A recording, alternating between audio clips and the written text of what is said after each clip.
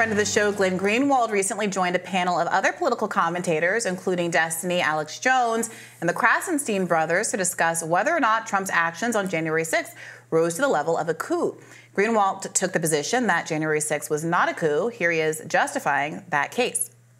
If you look at how other coups are perpetrated, and I think a lot of this is that if you're an American and you have this very soft history, you don't know what a coup is, you think that like what CNN tells you a coup is a coup. Usually the way coups work is the leader of the country whoever is in charge of the military orders the military to seize control of the levers of power. Trump was the commander in chief on January 6th. The military was duty bound to obey his orders. They had a right to disobey if they were illegal, but if this were a coup, why didn't Trump order the military to seize control of the of power and turn over the election process to him? Why didn't he order the armed factions that form the, the law enforcement part of the military and the executive branch that serve under his command to do that as well? That's what happens in a coup. That didn't happen here because Trump wasn't trying to perpetrate a coup. Later in the panel, Greenwald got into an argument with left, well, with liberal streamer Destiny. Let's take a look. Do you want to talk about applying the same standard? Would you have been okay in the year 2000 if Gore refused to certify the vote because he didn't like what was happening in Florida? A lot of Democrats did Can want you him answer to do that, that. question, I, I, Glenn? Answer yes, the question. Yeah, and I would have actually. Yes, there, a lot of Democrats were angry about that. There I'm not asking if a lot of. Dem- I, I'm asking you would be okay personally if he refused to certify the vote. I think there were two. There were you two won't answer the question. In 2016, would you have been okay if would you have been okay if Biden? That Gore, one, because if you really believe that an election is stolen, as the Democrats claim they did, then it is kind of odd to say we're just going to concede that and allow George Bush to march into power, even though we believe that he actually stole the election. Yes, that but, is kind of an odd no, way it's to not. go Well, about your it's not. It's not all that all. We live in a democracy. Ed and Brian Krassenstein attempted to deflect comparisons between the Black Lives Matter riots and the attack on the Capitol. Let's watch. I don't think that Black Lives Matter was an insurrection. I do think 1992 riots in LA was an insurrection. Uh, George Herbert Walker Bush. Black? What- Lives Matter black that made it not an insurrection. What did it lack? So it was a protest, and the violence was when the police clashed with the protesters. The vi- the violence was not against the government in order to stop the government from doing something. There There were was- there weren't Antifa and anarchist groups there that explicitly say they were using violence to overthrow the government. That There- didn't happen. They were firebombing federal courthouses. There- God, you're s- that's not true. They were fi- they the bombs on the courthouses. There's nobody. It was at nighttime. There's nobody in there. They, were, they were not obstructing The anything. firefighters They got were to not- they- Arson's a they- serious they were crime. not- It's a fun gathering. Surprised we didn't get our invite. So sad. Well, I've had this exact debate with uh, uh, Glenn, Greenwald, Glenn Greenwald on my show, who I respect a great deal, but I do think he's playing fast and loose with definitions. Not every coup is a military coup. There is definitionally something called a soft coup, which is much closer to what's being described here. And I think that he's right that the focus on what whatever skirmishes were happening outside of the Capitol on that given day were not the coup, any more so than I guess the claim that's being made here is that protest in Los Angeles uh, in the 90s somehow were tailored to overthrow the government. I think both claims are absurd. But what can be more accurately described as a coup or Trump very clearly trying to hold on to power outside of what the democratic laws of this country would dictate is him calling up several se- uh, uh, elected officials in several states and plotting with them, this is what's being alleged, to put together fake slates of electors that do not reflect what the people in the state did on voting day, but different, wrong, made up felonious results that were then sent to the Capitol. And Mike Pence was supposed to say there's ambiguity here. I'm going to certify the fake, uh, you know, I can't decide whether the fake slate or the real slate is the appropriate thing. So we're just going to pump this to Congress, who, because of the distribution of Congress, would have elected Trump. That is a soft coup. That is a plan. Now, that plan has to be proven. These courts have to prove that that exa- was, in fact, what was taking, taking place. But that is clearly an action tailored toward making sure the, elect- uh, the election results were not respected. That is not the same thing as someone trying to storm the Capitol or someone um, uh, protesting Black Lives Matter, uh, protesting the murder of George Floyd, or someone protesting um, in the LA riots, or anything like that. None of which has any connection to actually changing the power dynamic at the top of our government.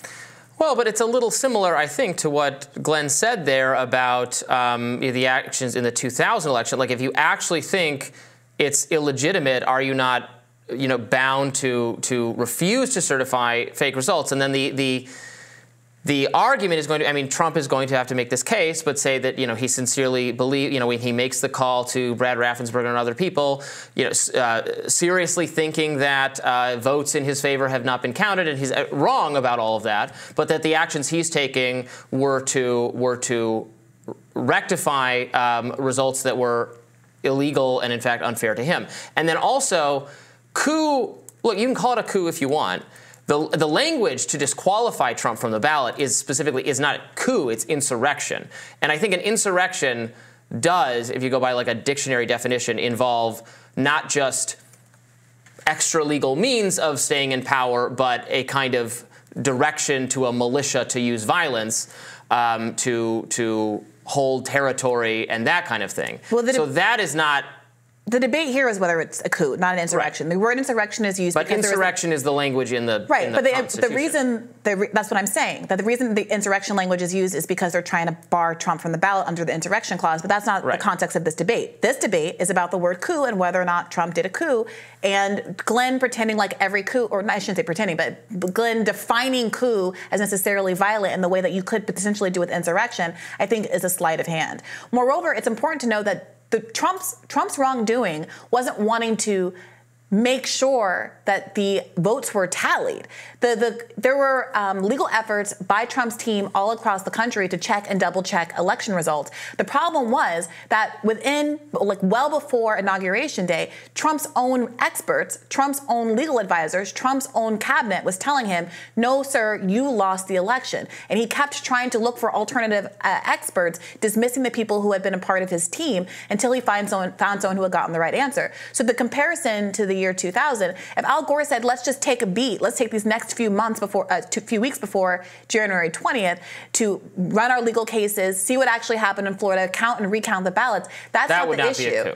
No, that's not would not be the coup, and that's not, it wasn't a coup when Donald Trump did that too. What Donald Trump is being accused of doing that is a coup is not having legal Jill Stein had a legal case to try to see what the uh, ballot results were in what Michigan or one of those Midwest, Wisconsin, one of those Midwestern states. That is not a coup. That is your legal right to engage in a legal process to see if see if the election was held fairly and accurately.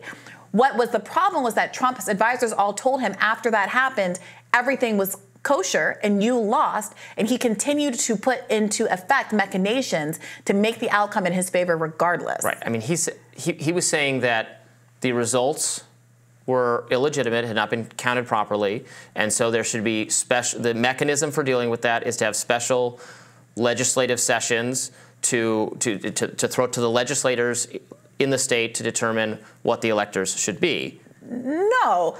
What, yes. what, the, what the plot wasn't, oh, I guess. He was wrong about The legislators that. were not saying, based on this other information that is substantiated and real, right. we're going to submit it's a fake slate for His, elections. He's saying they made up uh, results and we're, the plan was this is this is from I'm sorry um, I'm blocking the guy's name from the this is the stated plan in the in that that memo.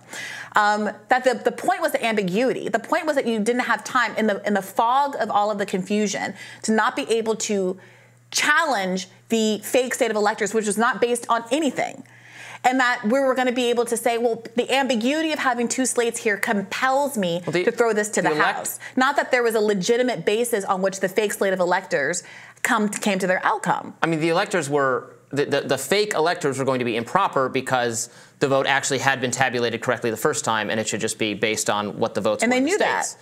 Well, but okay, but they, you have to prove that Trump knew that. Right. That he didn't obviously, actually believe that. Obviously, but we've already had a bunch of people flip and a bunch And that he was actually involved in the and that he specifically directed and organized people to take right, those actions right. on his behalf. Like I said, that that has I said that has to be right. proven. But well. we've already had people who are conscripted into this plan say, "Oh, I thought I was only signing this as a last case scenario. I didn't think this was actually going to be submitted. I thought that I was signing this document that was only going to be used if the recount showed that Trump had actually won, not that it was going to lie and and and be used to create confusion at the Capitol so that Mike Pence could justify throwing it to the House. We have people who are part of this scheme who've come out and said that. Like I didn't I didn't realize I mean they're also trying to cover their own behind, so grain of salt. But they've come forward and said, "Well, I, I wasn't I wasn't trying to represent that I had some special knowledge that the tallies were any different than what you knew. All I knew was that I'm signing this in case the uh, experts come back and say we have new numbers here.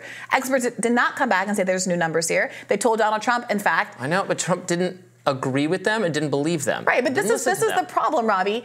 If I if I tell you this cup is black, we get 15 experts in here to say the cup is black. I see I have you on camera whispering to someone else saying, "I know the cup is black, but we got to we got to find a way to make this cup blue." You can't just sit here and maintain because my subjective belief is that this cup is a color other than black that I shouldn't go to jail for fraudulently lying to the That's what they American people to- about the That's cup. That's what they have to prove. Right, but Trump's only defense is that he subjectively believed that there was fraud when everybody who was working for him and all of these I don't think that's Republicans such a stretch that he actually believes that. and all of these Republicans Listen to him; he still says it. I know he still says it. And the point is, you cannot just claim. I can't right, go well- into a store and claim, well, I, I, I thought I'd already paid for all of these items and walk out and steal. At a certain point, your subjective belief in the face of all of the evidence to the contrary and some tacit acknowledgement that you know better, frankly, in some of, in some of these cases, in some of this reporting, is not enough to protect you. And so that that is what the coup is. I agree with Glenn insofar as the people breaking into the Capitol were not the coup. That was not a coup, I any more so than any protest. Trump exhausted every legal means and then some questionably legal and perhaps extra legal means to stay in power for which he's being prosecuted. Coup goes a little far for me, and insurrection goes very far, but we will see if the court agrees. More rising right after this.